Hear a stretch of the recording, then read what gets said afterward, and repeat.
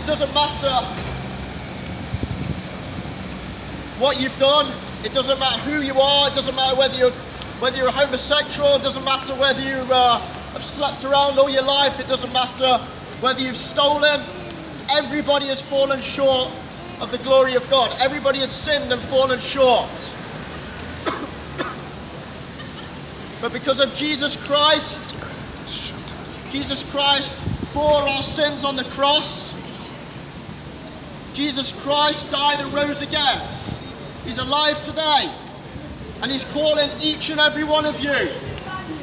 God's will is that everyone should be saved. That's God's will. Everybody should be saved. There's no favourites. God has no favourites. It doesn't matter what nationality you are. It doesn't matter whether you're a Jew or a Gentile. It doesn't matter what church denomination. Salvation is only found through Christ Jesus and Jesus alone. That's what I'm saying. For God so loved the world that he gave his only Son, that whoever believeth in him should not perish but have everlasting life. he loves you. He loves each and every one of you and desires all to be saved. Everybody. And I'm so thankful that I have Jesus Christ. I'm so thankful that he is in my life today. It's not about money for me.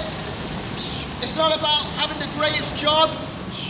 It's not about chasing women or going to the casino like I used to, gambling, chasing money.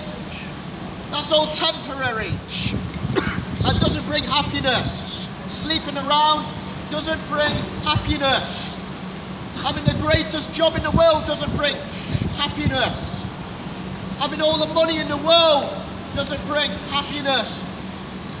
True happiness is found in Christ Jesus alone.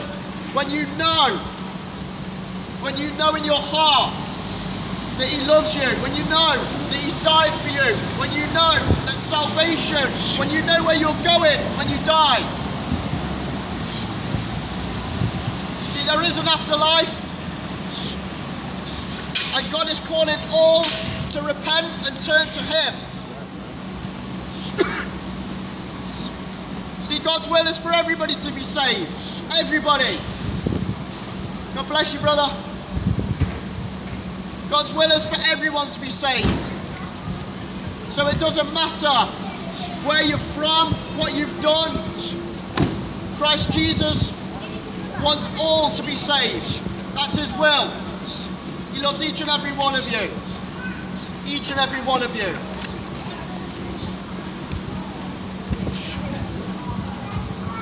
And I pray that all should hear my voice. I pray that all will turn.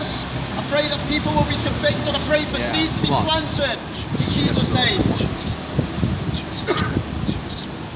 Honour this man's I give you all the glory, Lord, because without you we have nothing. Without you we are nothing.